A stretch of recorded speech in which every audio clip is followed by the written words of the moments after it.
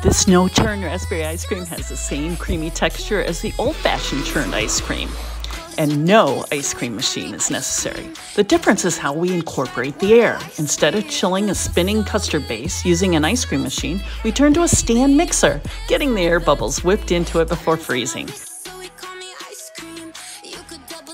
Adding a raspberry puree made from fresh or frozen raspberries takes this no churn ice cream to the next level. Perfect for making throughout the year. The hardest part is waiting 12 hours for the ice cream to freeze, but it's worth the wait. It is so good.